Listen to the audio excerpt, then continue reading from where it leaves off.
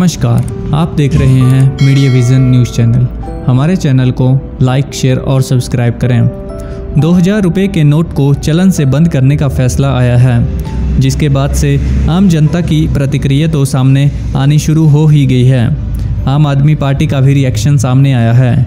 दिल्ली के सीएम अरविंद केजरीवाल ने इस बारे में केंद्र सरकार पर निशाना साधा है, या यूँ कहें कि उन्होंने सीधे तौर पर पीएम मोदी पर निशाना साधा है। अरविंद केजरीवाल ने 2000 के नोट चलन में बंद होने के बहाने एक बार फिर पीएम मोदी के पढ़े लिखे होने पर सवालिया निशान खड़े किए हैं। अरविंद केजरीवाल ने ट्वीट के ज़रिए पीएम मोदी पर करारा प्रहार किया है। ट्वीट के ज़रिए उन्होंने कहा है कि 2000 नोट के बंद करने के फैसले से जनता को भुगतना ही पड़ेगा। सीएम केजरीवाल ने ट्वीट किया है, पहले बोले 2000 का नोट लाने से भ्रष्टाचार बंद होगा। अब बोल रहे हैं 2000 का नोट बंद करने से भ्रष्टाचार खत्म होगा। इसलिए हम कहते हैं, पीएम पढ़ा लिखा होना चाहिए। एक अनपढ़ पीएम तो कुछ भी बोल जाता है, उसे समझ आता नहीं है, भुगतना जनता को पड़ता है। बता दें कि आरबीआई की तरफ़ से किए गए इस फैसले ने एक बार फिर लोगों के जहन में 2016 की नोटबंदी के हालातों को तो ज़रूर याद दिला दिया होगा।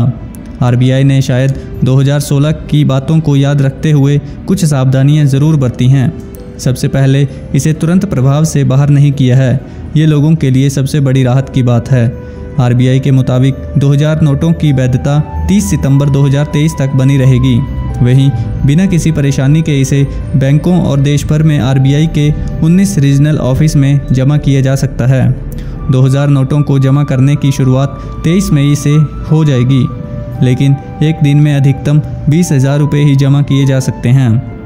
वहीं बैंक प्रतिनिधियों के ज़रिए ग्राहक चार हज़ार रुपये तक नोट बदल सकते हैं। गौरतलब है कि 2000 नोट को चलन से बाहर करने की कवायद काले धन पर नकेल कसना है।